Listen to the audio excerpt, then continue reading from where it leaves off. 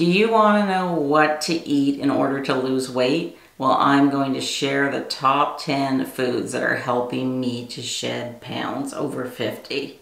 Hey everyone, it's Cathy. Welcome to Style with Cathy over 50. And I thought today I would share my top 10 go-to foods that are helping me to lose weight.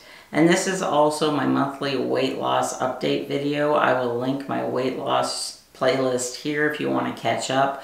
But in a nutshell, I've been working one-on-one with a dietitian since mid-July of 2023, and to date I have lost 21.8 pounds. I've been going through a difficult time, so I really wasn't losing weight for about a month and a half, but I'm back on track, and I had gained, I think, a pound or so last month, but I brought it back down. So I'm almost halfway to my 50 pound target. So hopefully by the end of, what are we in, April, I will be at uh, minus 25 pounds. So I thought it would be fun today if I could share with you the top 10 foods for weight loss that you can enjoy while still reaching your goals. So I believe it's really important that I enjoy the food that I'm eating because this is a new way of life. I'm not really counting calories or points. I'm just using a plate and eating a healthy diet. So I'll link that video here where I go into great detail about how the balanced plate kind of way of eating works and actually it's the easiest way that I've ever lost weight in my life because I find that I'm no longer stressing about food or counting calories or worrying about what I can eat at my next meal. So it's a really simple way to eat. It's a healthy way to eat. You may not lose 10 pounds a month, but you know, I'm almost 56 years old. I have had a few detours along the way because of some stress I'm going through in my personal life, but I know that if I stick to this way of eating, I will lose weight. I don't believe in depriving myself, and I think that's a really important thing to remember whenever you are planning for success for the rest of your life. Because if I deprive myself, I know I'm setting myself up for failure. Okay, so the first food that I am enjoying are avocados. Avocados are packed with healthy fats and fiber. They can help you feel full and satisfied. And I like to include avocados in salads and also in smoothies. Now they are a healthy fat, but you don't want to eat, you know, five avocados in a day. You do have to use common sense. And a tip that I use because sometimes when I go to the grocery store, the avocados are already a little too ripe. So I have found them in the frozen food section. So I buy my groceries at Walmart and in the frozen food section, they have all kinds of frozen fruits and vegetables and avocados are great. Because say I want to put them in a salad, I'll just take out a few pieces that I want to include in my salad maybe an hour before I'm going to eat. And by the time I sit down to eat my salad, they are completely thawed out. So that's just a little tip, you know, and it's also a little cheaper, I think, to buy frozen fruits and vegetables sometimes rather than buying fresh.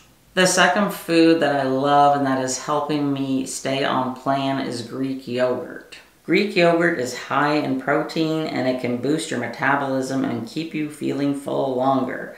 I eat Greek yogurt every morning for my breakfast. I have the same breakfast every day. I am boring, but it works for me. So I use the Oikos Greek yogurt, 2% vanilla yogurt. I cleared this with my dietitian. And I do not like plain Greek yogurt. I do not like the no sugar kind. And as long as everything is balanced, you know, the little bit of uh, sugar in the 2% vanilla, it's not going to really do that much damage. So like I said earlier, I have to eat things that I like. I can't feel deprived. And whenever I have my Greek yogurt, I don't measure, but you know, for being a lifelong member of Weight Watchers, I can kind of eyeball things and, you know, approximately know how much I'm eating. So I would say every morning I have about three quarter cup of the Oikos 2% vanilla Greek yogurt. And then on top of that, I'll sprinkle approximately a quarter cup of a mixture of blueberries and raspberries. So I buy those frozen because whenever I'm eating fruit, like with yogurt, I don't like the um, sourness of the frozen. So I just get a container of blueberries and raspberries every week, wash them, mix them together, just drizzle them with like maybe a quarter teaspoon of maple syrup, real maple syrup, not that, you know, fake stuff you can get in the grocery store. And that just kind of keeps them fresh for the week. And oh my gosh, it is so, so good. And then I'll just sprinkle a little bit of granola on top. I buy this high protein granola, usually off of Amazon. It's sometimes difficult to find in the grocery store. And again, I keep it less than a quarter cup. I probably use maybe an eighth of a cup. I just sprinkle a little bit just to have a little bit of crunch on it. And yes, I know that there is sugar in it, but the dietitian said as long as everything is in balance and I'm not eating, you know, a cup a day, it is fine. And, you know, my yogurt berries and this little bit of granola on top actually will keep me full for a good four to five hours until it's lunchtime. And if I am um, making smoothies, I have tried to make smoothies with the plain and the no sugar added Greek yogurt, and I can still uh, tell I do not like the taste. So you know what? I have to be happy. I have to feel satisfied because if I'm not satisfied, then I'm going to start grazing and, you know, the wheels are going to come off the bus and we're going to end up in the ditch and been there too many times before. I don't want to end up there again. So chicken is pretty much the meat that I eat 99% of the time. And chicken is healthy because it is a lean meat that will keep you feeling full for longer. And you know, it's super simple to cook chicken. I buy them from the butcher because um, I get them deboned and skinless, and they're so much fresher than what you can buy in a grocery store. So if you live close to a butcher, I highly recommend that you just try their boneless, skinless chicken breasts, and you're instantly going to notice the quality and the freshness is so much better than what you can get in a grocery store. So a real simple way that I like to cook my chicken, I just uh, put them in a Pyrex dish, already frozen. I'll drizzle them or I have a little sprayer with either avocado oil or olive oil, just a tiny little bit. And then I will um, season it with like some salt and pepper maybe some Italian seasoning. Just, you know, whatever I have kicking around. Sometimes I'll use some of that Lawry's seasoning, just whatever. And then I flip them over and I do the same thing on the other side. I cook them at 350 for 45 minutes and then I use my digital meat thermometer and you want to make sure that your thermometer is reading 165 Fahrenheit. Depending on how thick the chicken breast is, most of the time they are ready, but always depend on your digital meat thermometer because it is so important to cook chicken. You don't want to end up getting food poisoning from undercooked chicken. And then you can, you know, cook a few extra ones if you're not going to eat uh, all of them and they're handy to have in the fridge, you can chop them up, put them in your salad. You can put them in wraps. You can even make uh, chicken soup. And it's uh, super quick and easy to do that whenever you have like cooked chicken in your fridge. So this is a staple and it's a great source of protein that helps me um, feel full longer. The next food that is new to me is quinoa, and I've only recently started using it, so I'm still learning. But quinoa is a complete protein, and it's a great alternative to refined grains, and it can help you feeling full. It's also a great addition to a salad. So sometimes what I'll do is if I'm making, say, a salad with lettuce in it, I'll just put maybe a quarter cup of the cooked quinoa that is already in my fridge and I'll add that to the salad. So it's just an extra boost, I guess, to get some extra protein because protein helps to keep you feel full and satisfied. I could not get through this uh, weight loss journey without my berries, and I'm talking about my blueberries and my raspberries. They are low in calories but high in antioxidants, and berries can be a sweet treat that can help curb cravings.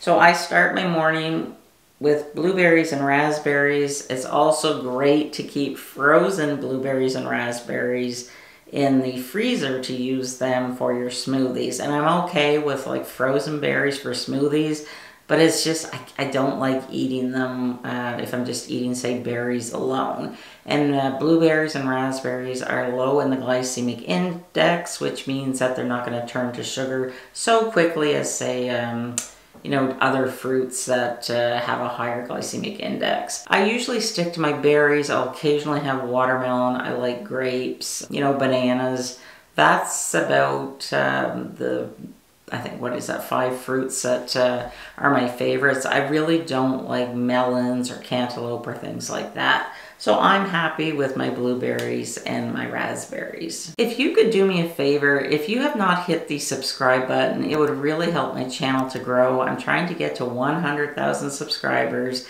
and it would really help my channel to get pushed out by YouTube and help me reach my goal. And it doesn't cost anything and I upload videos two to three times a week. Thank you. The next food, I could eat this for breakfast, lunch, and supper, and I'm talking about broccoli. I love broccoli. I always have. I love it raw. I love it cooked. It is just such a versatile vegetable. Broccoli is packed with fiber and nutrients, and it's a great low-calorie option for weight loss. You can, you know, have a veggie tray. I've also cooked them in the oven. You just, uh, you know, put a little bit of olive oil on top, some salt and pepper for seasoning. It's great that way. Steamed, boiled, whichever way you want to make broccoli. It's just really such a versatile vegetable. Now, I will tell you, I've noticed in the last year when I buy frozen broccoli, the quality is not as great as a few years ago. I find now when you buy frozen broccoli, they just, it's mostly a lot of just the stems and I like the flower part. So what I do is I will buy broccoli crowns. So basically they've taken off the stalk, which goes in the garbage anyways. I never use the stalk. I just cook the, the head, the flower, I don't know what you call them. But uh, yeah, if you buy the crowns, you're not paying for the stalk that's going to go in the garbage. So that's um, just a little tip too. The next food that is helping me to lose weight is actually new to me. And it's actually my daughter that got me turned on to chickpeas. So chickpeas are rich in fiber. They are a plant-based protein that is filling and nutritious. And I have this chickpea salad that I um, have recently started eating for lunch and I will create a video on it. It's coming. But it's really satisfying because if you want to say have a meatless day, this is a great alternative to eating meat and it's very, very filling. So it's a super simple salad to make. You can just throw in some chickpeas after you've rinsed them. Make sure they're uh, pre-cooked if they come in a can and then, you know, you add some cucumber, uh, pepper, uh, red pepper, a little bit of onion, mix it all together, and then I just drizzle it with some olive oil, some balsamic vinegar, season it if you want with salt and pepper, and then just uh, put a little bit of feta cheese on top. And probably a cup to a cup and a half is probably the amount that I'm eating at lunch, and it's very, very filling and it's very healthy. But you have to remember to get the canned chickpeas and they have to be cooked. Another trick you can do, you can Google this, I haven't done this in a long, long time. You can roast the chickpeas in your oven and that makes a really uh, nutritious and great tasting snack. So eggs are also very important to have on hand whenever you're trying to lose weight. I must admit I'm not the biggest egg fan, but I will eat them. So eggs are high in protein and nutritious and they can help you feeling full and satisfied throughout the day. So boiled eggs for salads. Uh, sometimes I'll have like a boiled egg and a piece of toast for my dinner. Scrambled eggs. Don't think of eggs as just a breakfast food. I mean, you can have them for breakfast, lunch, and dinner. They're very, very versatile and um, they do help to keep me full. Probably my favorite way to eat egg would be like a boiled egg and then um, I'll put a little bit of pepper and a little bit of butter on top. And yes, I still eat butter, but I, I don't have it like at every meal. Usually the only time I'll use butter is whenever I'm eating broccoli, potatoes, or um, boiled eggs. And if I'm making a sandwich, I'll just lightly butter one slice of the bread. But uh, eggs are super good to have on hand. They are very, very versatile. The next thing that is helping me to stay on track, and this has been so beneficial in helping me mainly in the evenings when we're watching TV to curb any cravings, and I'm talking about nuts. Now you want to be careful, you don't want to go over a quarter cup of nuts for the day. Because they are good for you, but they also do have a lot of calories in them. Nuts are high in calories, but they're a great source of healthy fats that can help you feeling full. So one of my favorite go-to snacks for in the evening, and sometimes I'm not hungry at dinner time, so I'll make this and this is my like dinner slash snack. So I'll take about 10 almonds and then I'll have an apple and a cheese stick and that is my supper or my little charcuterie board snack.